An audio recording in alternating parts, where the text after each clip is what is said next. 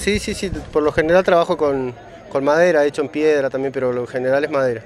Se me vino a la, cabeza la imagen de una madre acariciando un casco de, su hijo al Malvina y salió. Calculo que cada argentino lo recuerda de esa manera. Eh, yo era demasiado chico en ese momento, pero eh, he trabajado, he hecho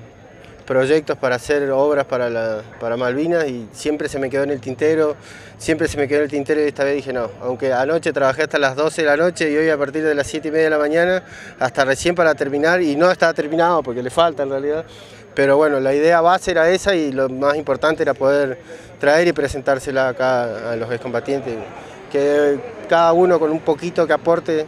eh, en algo tan significativo como es esto, creo que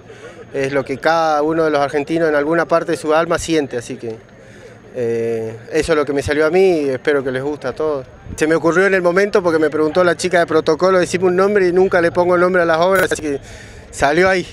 todo en el último momento.